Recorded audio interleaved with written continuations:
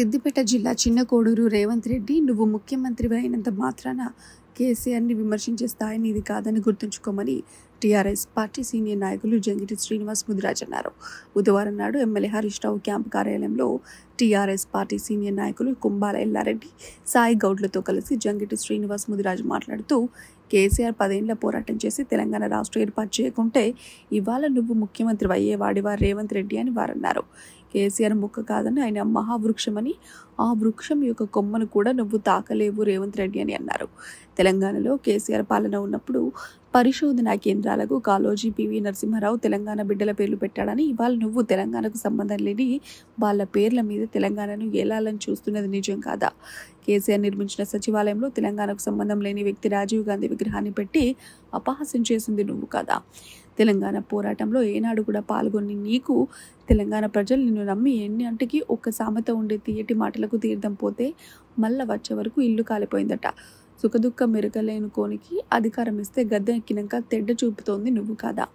రేవంత్ రెడ్డి కేసీఆర్ ఇచ్చిన హామీలనే కాదు చెప్పనటువంటి పథకాలను ప్రవేశపెట్టి నిర్విఘ్నంగా కొనసాగించిన ఘనత ఇవాళ కేసీఆర్ది.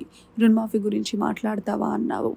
కేసీఆర్ చేసిన రుణమాఫీ జరుగుతూ ఉంటే ఎన్నికల సమయంలో కంప్లైంట్ చేసి రైతులకు రుణమాఫీ కాకుండా ఆపింది నువ్వు కాదా?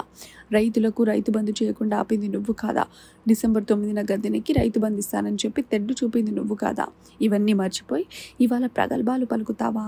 అన్నాడు ఇవన్నీ చూస్తుంటే పులిని చూసి నక్క వాతలు పెట్టుకుంటే వాతలు ఎన్ని రోజుల్లో లేక మిగతా జంతువుల చేతులు అవమానాలకు గురైనట్లు త్వరలోనే నీకు కూడా అదే శాస్తి జరుగుతుందని రేవంత్ రెడ్డి ఇది గుర్తుంచుకొని హెచ్చరించారు.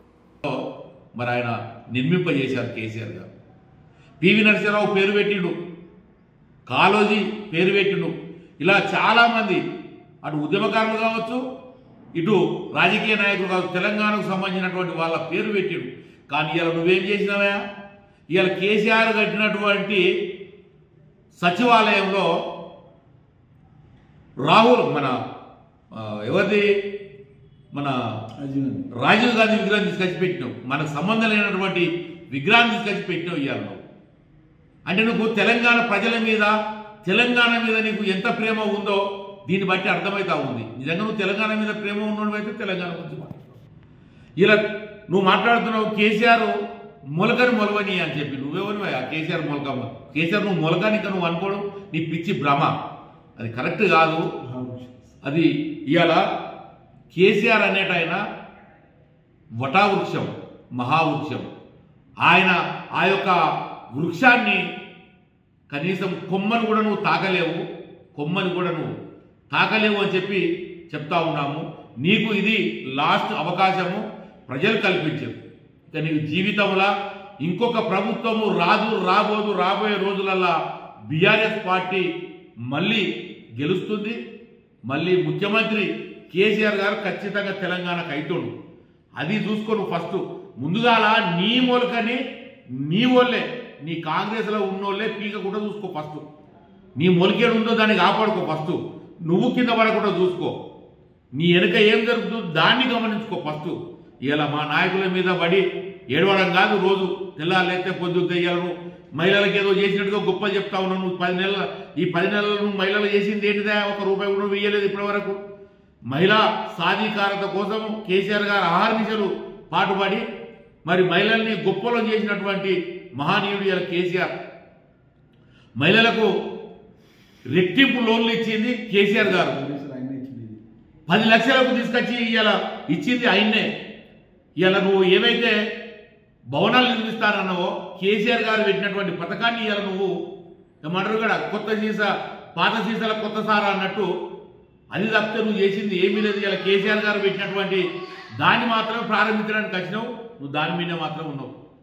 కానీ కేసీఆర్ని మళ్ళొక్కసారి మాట్లాడే ముందు నీ స్థాయిని మరవకు. ఎందుకు అని నువ్వు ఎక్కడి నుంచి వచ్చినావో బాగా గుర్తుపెట్టుకో. దానిలో అన్ని ఎందుకంటే ఇప్పుడు స్థాయిని మరిచి మాట్లాడినోడు ఏమైందో బాగా చరిత్రను చదువుకో. చరిత్రహీనుడివి కాదు చరిత్రలో నిలిచిపోయే విధంగా నువ్వు మాట్లాడు. ఇవాళ చరిత్ర అంటే కేసీఆర్. చరిత్ర సృష్టికర్త అంటే కేసీఆర్. కేసీఆర్ గురించి ఎన్ని చరిత్రలు రాసినా తరగనటువంటి చరిత్రను సృష్టించి తెలంగాణ సాధించినటువంటి వ్యక్తి. ఆయన ముందు ఎంతోమంది ముఖ్యమంత్రులు వేరు. ఎంతోమంది ముఖ్యమంత్రులతోని ఆయన అనుభవాలు ఉన్నాయి ఆయన ఇరవై ఐదేళ్ళు రాజకీయంగా ఉండి ఇరవై ఐదేళ్ళ తర్వాత తెలంగాణను ఏ విధంగా అయితే తీసుకురాగలుగుతామో అని ఆలోచించి తెలంగాణ సాధించినటువంటి మహానీయుడు తెలంగాణ జాతిపిత ఆయన. ఆయన గురించి మాట్లాడే స్థాయి అనేది జర స్థాయికి తగ్గట్టుగా మాట్లాడు.